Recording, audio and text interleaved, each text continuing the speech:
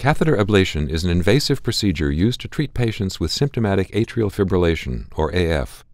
Complications associated with atrial ablation include periprocedural stroke and transient ischemic attack.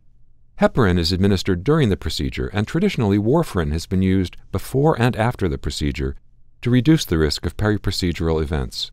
The role of the newer non vitamin K oral anticoagulants has been unclear.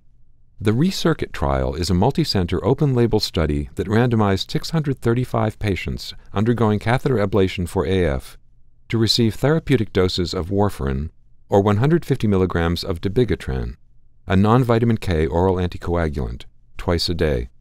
All patients received uninterrupted anticoagulation for 4 to 8 weeks before and then during the procedure and for a further 8 weeks after ablation.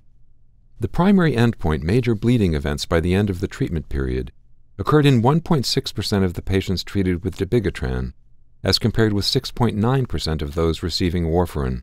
The absolute risk difference between the two groups was statistically significant.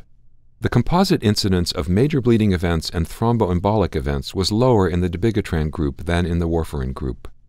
Serious adverse events such as atrial flutter, congestive heart failure, and cardiac tamponade were reported in 18.6% of the patients treated with dabigatran, as compared with 22.2% of the patients treated with warfarin. The authors conclude that among patients undergoing catheter ablation for AF, periprocedural anticoagulation with uninterrupted dabigatran is safe and leads to fewer bleeding complications than uninterrupted warfarin. Full trial results are available at nejm.org.